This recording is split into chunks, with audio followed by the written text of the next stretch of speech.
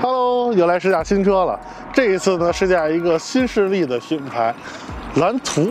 第一印象啊，就给我感觉，嗯，非常不错。那咱们就先从外观说起。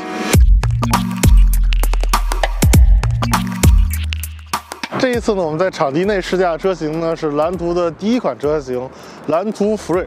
整体造型啊，就像它的名字一样，非常的自由奔放。整体的风阻系数呢只有零点二八，搭配它四米九多的车长，看上去呢非常的霸气啊。尤其是从现在这个角度看这台车，我认为从车身侧面的比例非常的完美。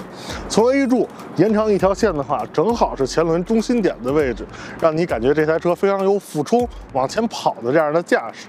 在 C 柱上面呢，也采用了悬浮式车顶类似的设计，搭配以它的英文品牌标识。尾灯呢也非常具有设计感，并且呢采用了当下流行的这种贯穿式尾灯的设计。在现在众多新势力造车的环境下啊，这台蓝图福瑞依然非常具有辨识度。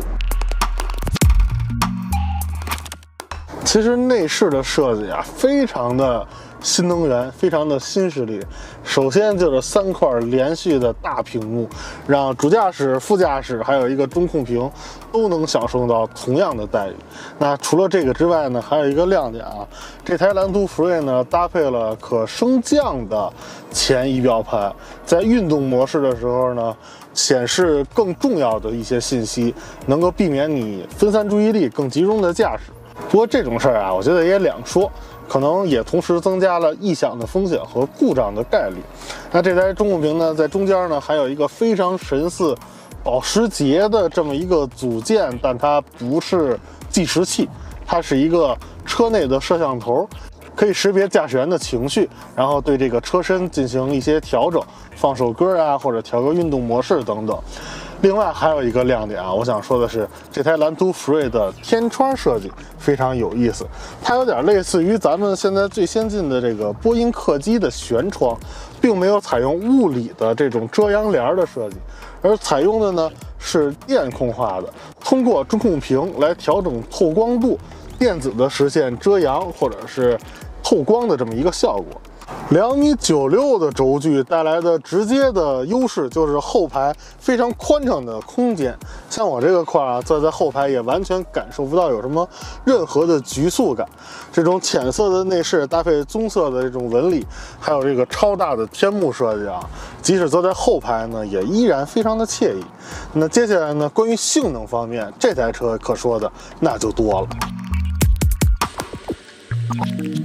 这一次蓝图福瑞啊，其实拥有两个动力形式，一个呢就是增程版，另外一个呢就是刚才我们实拍的纯电版车型。那增程版呢搭载了一个 1.5T 直列四缸的发动机，配合电机呢，峰值扭矩可以达到惊人的一千零四十牛米。那这绝对是超级跑车的水准了啊！这一次在场地试驾呢，我们也主要体验了零百加速、绕桩、紧急并线等等科目。那这一次蓝图福瑞呢，在这几个科目下也确实给我留下了很深的印象啊！在直线加速上，确实动力非常生猛。那麋鹿测试的环节呢，蓝图福瑞最高可以以七十五公里每小时的速度通过这个麋鹿测试，整体的表现还是非常令人印象深刻的啊！整体来说呢，蓝图福瑞这一次呢，主打智能跟性能两个层面。